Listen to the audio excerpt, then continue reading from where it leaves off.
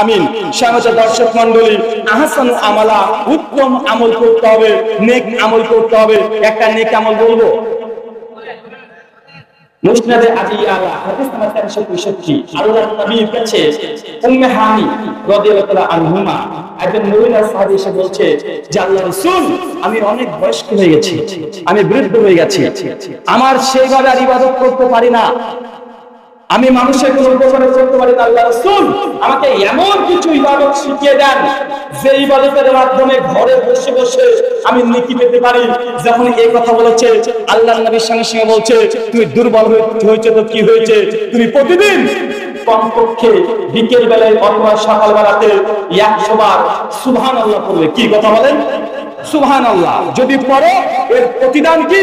আল্লাহ নিয়ে বলছে, এই আমল যদি করতে পারো, তো ইসমাইলের বংশের ইসমাইলকে জানেন? নবী ইব্রাহিম সন্তান ইসমাইল আলাইহিস যে বংশ থেকে আমাদের নবী এসেছে, আল্লাহ নবী বলছে, তুমি যদি প্রতিদিন 100 বার করে সুবহানাল্লাহ এটা জিকির করতে পারো, অবশ্যই তোমার জন্য ইসমাইল আলাইহিসসালামের বংশের 100 জন দাসীকে আজাদ করলে যত নেকি আল্লাহ তোমার আমলনামায় তত নেকি লিখে দেবে যদি 100 বার খুব কঠিন কাজ, কথা বলে খুবই কঠিন কাজ। বেদাতি জিকির অনেক করেছেন। হু, এতে কাজ নাই। করলে জাহান্নাম। আল্লাহ বলেছে, যদি জিকির করতে চাও নেকি কামাতে চাও, প্রতিদিন একটা টাইম বেছে নাও। একশো বার সুবহান আল্লাহ পড়বে, তাহলে ইসমাইল বংশের একশো জন দাসীকে আজাদ করলে যত নেকি আল্লাহ তোমার আমল নামায়, তত নেকি লিখে দেবেন। এর চাইতে বেশি বড় নেকামালা কিছু হতে পারে, কথা বলেন? কখনটার সময় লাগে? সুবহান আল্লাহ যদি একশো বার বলেন, কতক্ষণ সময় লাগবে?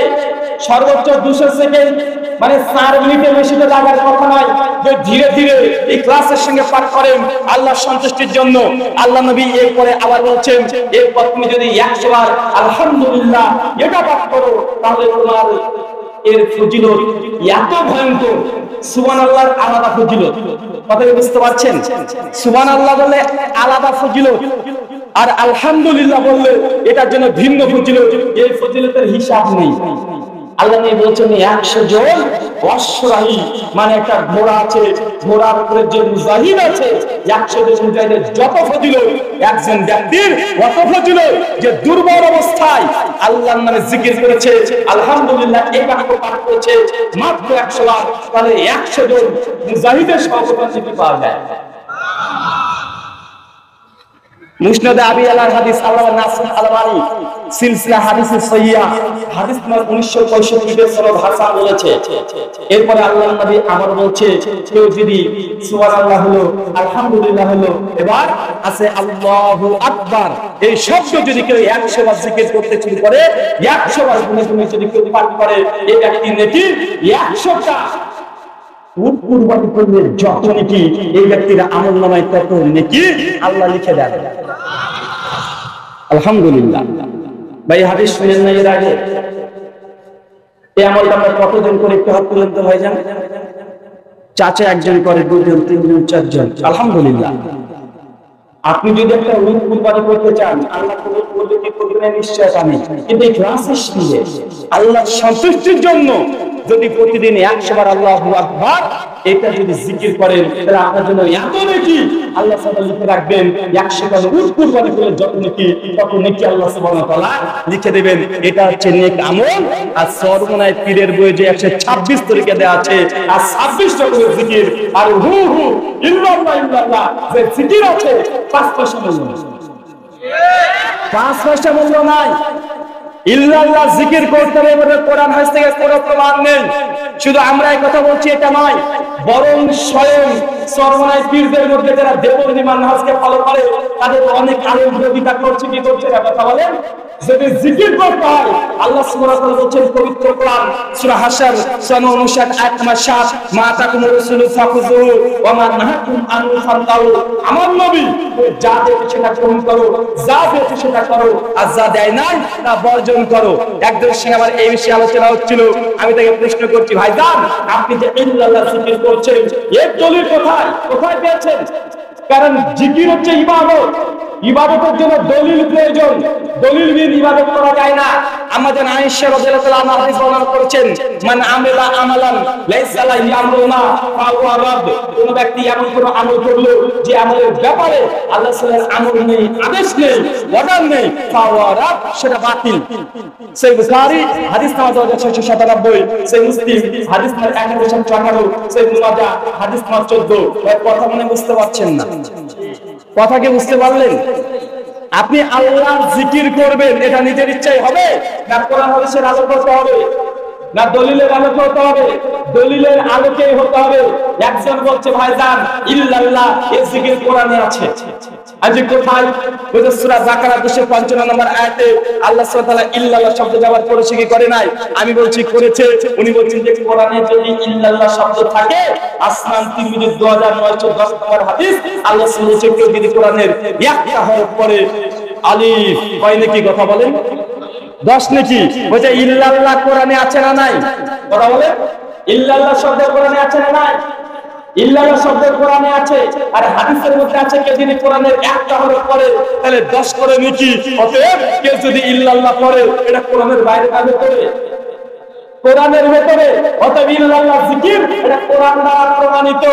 আমি তাকে সঙ্গে সঙ্গে একটা প্রশ্ন জিজ্ঞাসা করলাম, ভাইজান, এটা যদি এইভাবে ইঞ্জিনিয়ারিং করে যদি জিকিরকে প্রমাণ করো, তাহলে এক কাজ করো নাম কোরআনে আছে না নাই? ভাই নাম আছে না ভাই? কেউ কোরআন মাজিদ করছে। কোরআন মাজিদ করতে করতে হঠাৎই নাম চলে এসেছে, ভাই নাম যদি মাজিদ সময় হবে কি হবে না? এখন সরমনায় পীরকে যদি বলি, ফেরাউন ফেরাউন, ফেরাউনকে জিকির করো। এটা কি কথা বলে? বলে মানে কথা আছে না নাই? খামরুন, মদের কথা আছে না নাই? এখন কেউ যদি এই খিনজির খামর খামরা যদি এইভাবে যদি জিকির করে, আবুল আবের নাম আছে না নাই? আছে। তাই কোরআন মাজিদে কোন শব্দকে ধরে আপনি ওটাকে বারবার পাঠ করবেন। এটা জিকির নয়। লা ইলাহা ইল্লাল্লাহ, আফজালু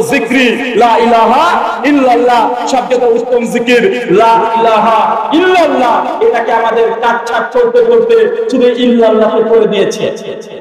কিছু মানুষ আমাদেরকে অভিযোগ করে, এরা আহলে হাদিস। এরা ইবাদতকে কাটাছাটা করে। এরা নাপিত তাই বলে কি বলে না? বলছে, আহলে হাদিস হচ্ছে নাপিত কেননা যত রকমের ইবাদত আছে, সব ইবাদতে কাটাকাটি করে। যেমন নামাজ তিন এরা বলে এক বিশ এরা বলে আট রাকাত। এই বলে আমাদেরকে বলছে নাপিত এরা ইবাদতে কাটাকাটি করে। আমরা তো ইবাদতে কাটাকাটি করলাম। তোমরা যে কালেমাতে কাটাকাটি করেছ? কোথায়? কালেমা কেটেছে রে, বাদ দিয়েছ। লা ইলাহা ইল্লাল্লাহ এটা যে সবসময় জিকির। আল্লাহর নবী বলছে, আসলে জিকরি। লা ইলাহা ইল্লাল্লাহ, সবচেয়ে উত্তম জিকির। লা ইলাহা ইল্লাল্লাহ, আপনি লা ইলাহা বাদ দিয়ে শুধু ইল্লাল্লাহ করছেন, এটা কি জিকির? এটা শয়তানি। এটা অবশ্যই শয়তানি।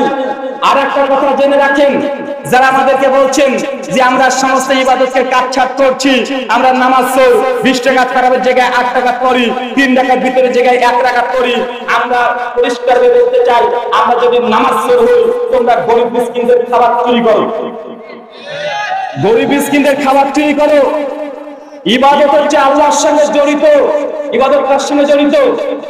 যদি কাটছাট করি কার সঙ্গে জড়িত পাপ আল্লাহর সঙ্গে জড়িত পাপ, আল্লাহর যে ক্ষমা চাইলে আল্লাহ ক্ষমা করবেন, কি করবেন না? কথা বলেন।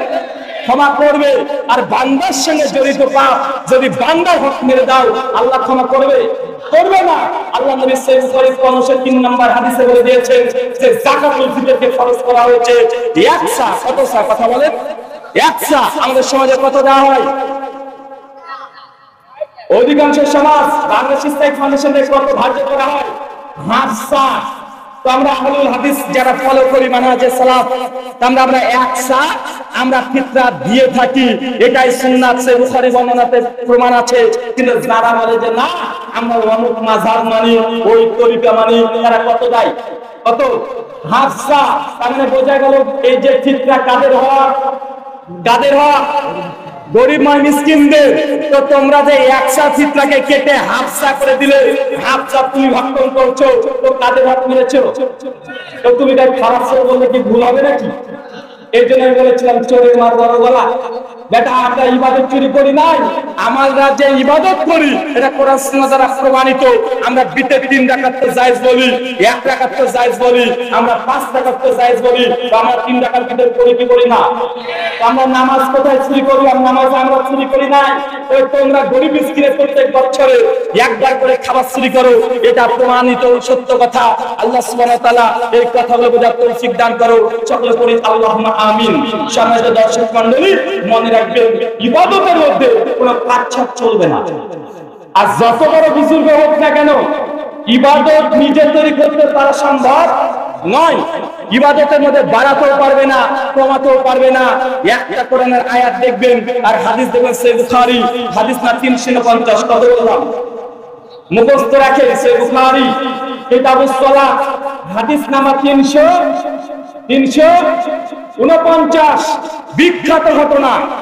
নবী মুসা আলাহিসাল্লামের সঙ্গেকার ঘটনা। আল্লাহ নবী মেয়েরাজে চলে গেলেন। যখন ফিরে আসছেন, মুসা আলাহিসাল্লামের সঙ্গে দেখা। নবী মুসা আল্লাহ নবীকে জিজ্ঞাসা করছেন যে আল্লাহ সাল্লাহ আপনার উন্মতের জন্য কি দিয়েছে? মুসা আলাহিসাল্লামকে আমাদের নবী বলছেন, ফারাজ সালাতান, আমার উন্মতের জন্য পঞ্চাশ ওয়াক্ত নামাজ দিয়েছে। কত কথা বলেন। কত ওয়াক্ত? পঞ্চাশ ওয়াক্ত।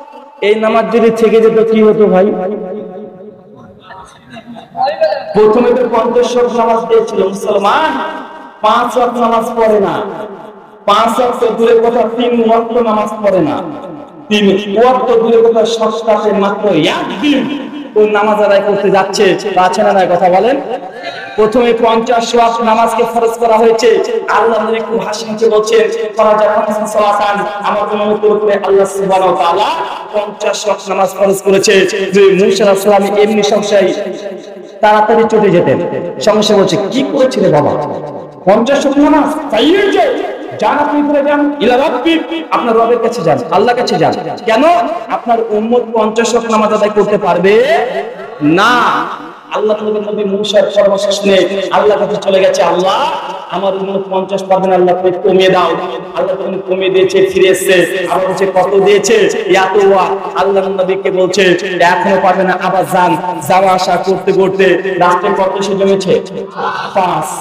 এখান থেকে একটা ছোট্ট বের করুন। ছোট মাসালা বের করার জন্য হাদিসটা আপনার পেশ করলাম। প্রথম কথা বলেন তো কোন নবী বড়? নবী মুসা না নবী মোহাম্মদ রাসূলুল্লাহ?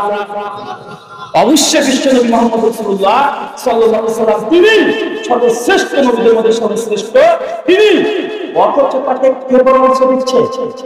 নবী মুসা আলাইহিস সালাম। তার মানে বোঝা গেল কখনো কখনো ছোটরা বড়দেরকে পরামর্শ দিতে পারে। মুরিদরা পীরের ভুল ধরতে পারে। কারণ মুসা তিনি আল্লাহ বলছে যান আপনি ঘুরে যান, ইলা আপনার রবের কাছে যান। কেননা আপনার উম্মত পঞ্চাশ আদায় করতে পারবে না। এই হাদিস থেকে আরও একটি হলো নবী, তিনি আলমুল গায়েব নন। মানে সবকিছু তিনি জানেন, এই সঠিক নয়। আমাদের বাংলার জমিনে এক সুন্নি নামে তুর্নি আছে, সুন্নি নামে সিন্নি আছে।